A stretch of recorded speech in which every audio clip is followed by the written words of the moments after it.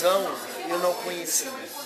Quando desenhei a marca da Globo, eu não podia imaginar o buraco maravilhoso que iria se abrir para fazer tantos outros logos e animações e vinhetas e genéricos.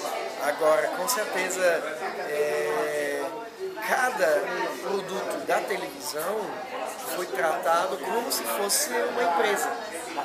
Cada novela tem sua cara, tem seu estilo, sua filosofia e seu, seu recado.